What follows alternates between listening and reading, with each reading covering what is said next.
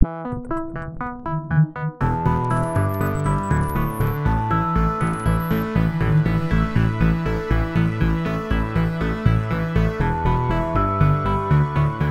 are, according to you, the fundamental challenges in your field of, uh, of research?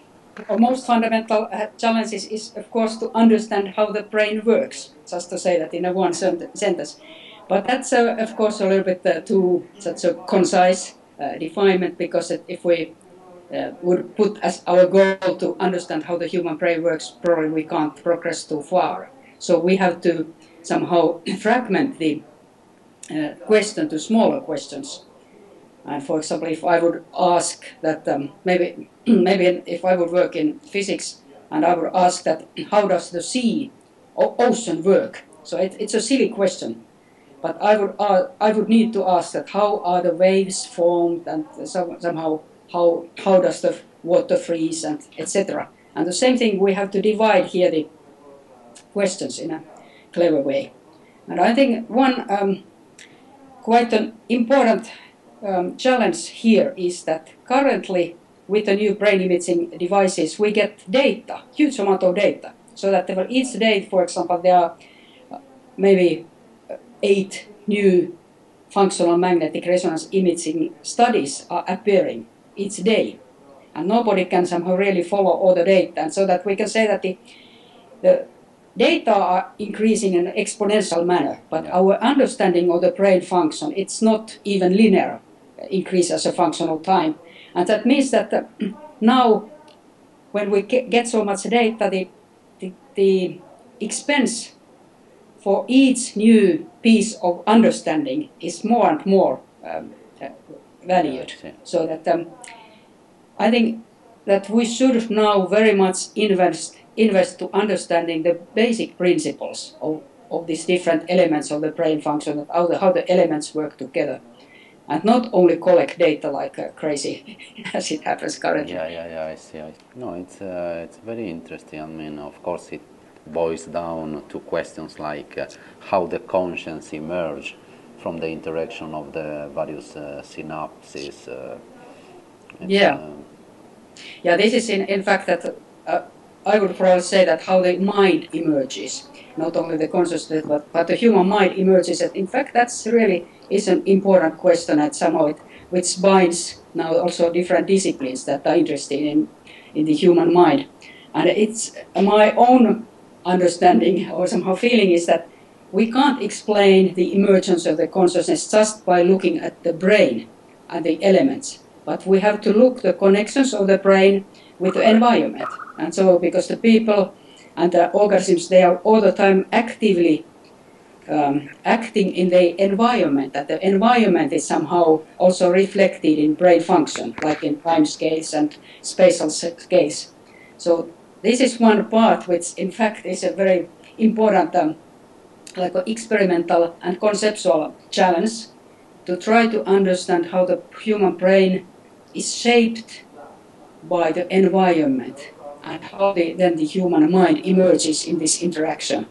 And um, for that purpose, for example, we need in brain imaging totally new approaches. We need to study the brain function in naturalistic situations so that we don't only present such very artificial stimuli like tone pips or checkerboard patterns that are these such a very well controlled stimuli and uh, widely applied.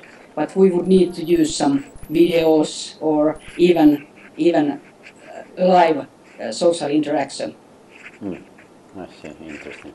So about the developments uh, um, of technology and or in other scientific fields, could you mention you mentioned uh, imaging and could you mention other uh, other technical developments who could boost? Yeah, so uh, I'm, I'm working in the like systems neuroscience and the brain imaging. So the brain imaging is it's of course a very important tool for us, and there are different um, imaging modalities available. Some are very good in in uh, spatial resolution. That means that they can tell us which part of the brain is activated. But then others are very good in telling when the brain is activated. And uh, of course, we should combine these different tools. We should try to increase the spatial and temporal resolution they can provide. They are already quite nice devices, but they still tell us only in humans the, the brain activity at the level of very big neuronal groups. So this, this is one part that try to collect more and more accurate data from the human humans. But then, as I already mentioned, that we are getting so much data. So we're also very much relying on advanced uh, computation mechanisms. And, uh, and they are now e extremely promising and uh, even surprising uh, um, new advances in machine learning, for example, where people take lots of these brain imaging data and then they can tell the somehow the features that discriminate between different uh, mind states, for example. It can be said on the basis of the brain data that whether a person has been seeing some uh, trees or some uh, cats, etc. So there are totally new types of uh, questions can be asked. But then I would also like to say here that the, in addition to this type of like, advancement of the brain imaging and then the computational uh, approaches, it will be also important then to advance to modeling and simulation so that we would. um, okay, some people have said that we don't really understand certain phenomena if we can't recreate the phenomenon. so in that sense that there are already some approaches that people try to simulate, for example, neurons and their connections, then networks, and then larger and larger systems.